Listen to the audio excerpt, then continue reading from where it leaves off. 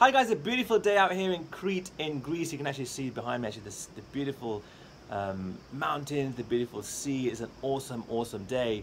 I thought a really good video on hyperparathyroidism, too much PTH secreting around the body and looking at some of the main reasons, primary, secondary and tertiary, which we'll go through in a second.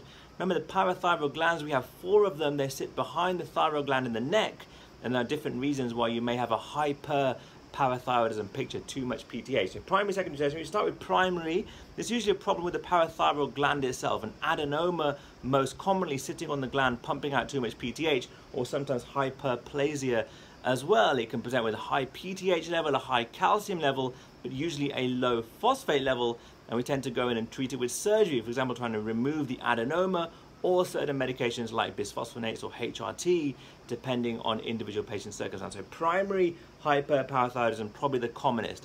Then we have secondary hyperparathyroidism. This is where you have too little levels or low levels of calcium over time can eventually to increase secretion of PTH, leading to a hyperparathyroidism picture.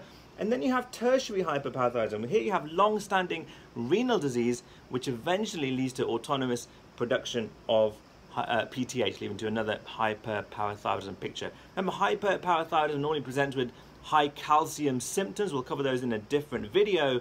But hyperparathyroidism, primary, secondary, and tertiary, much more like this on our PLAB, AKT, and GP entry courses, online training, and audiobooks. Hope this helps. Hashtag CampBassWorldPass, hashtag I went with Arora. Goodbye from Crete.